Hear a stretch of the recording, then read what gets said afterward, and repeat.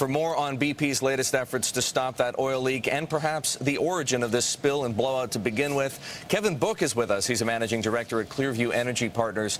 Kevin, let's start with what we heard from Mike Williams on 60 Minutes last night. On the one hand, he says there was a dispute between BP and Transocean over whether or not to cement in that third plug in the, uh, the shaft uh, as early as they did.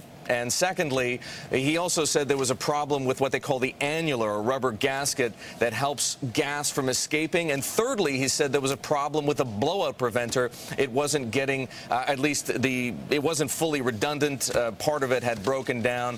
And it really seems to suggest, based on what he says and what 60 Minutes reported, that BP and Transocean perhaps bear more responsibility in terms of negligence than just the technical failure of some of their equipment. What do you think of what you heard? Uh, good morning, Eric. Thanks for having me. I think it's a little bit premature to make any conclusions based on any one party's stories because unfortunately we have entered into the period where even with the first modest successes towards containment, we're now getting to the liability and finger pointing game. But the questions are ones that deserve to be asked, and unfortunately, it seems like whatever did happen, if it can be linked to negligence, it's got big implications for the companies involved. The $75 million cap in liability only holds if there is no negligence. So this makes this a pretty pretty high stakes game at this point, Eric. Okay, I understand that we don't want to start finger pointing and we don't want to accuse a company of negligence when it hasn't been proven.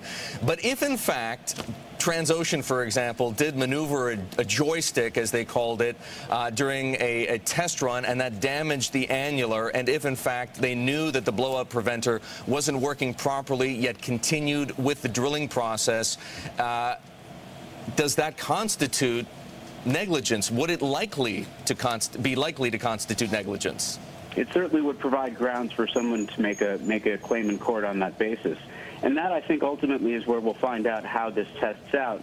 Where we were last week was kind of interesting. In the in the testimony provided by the, the parties when they went before the Senate Energy and Senate Environment Committees, there was a, a, an awkward silence when asked, you know, is this process that you were asked to do different from the traditional process?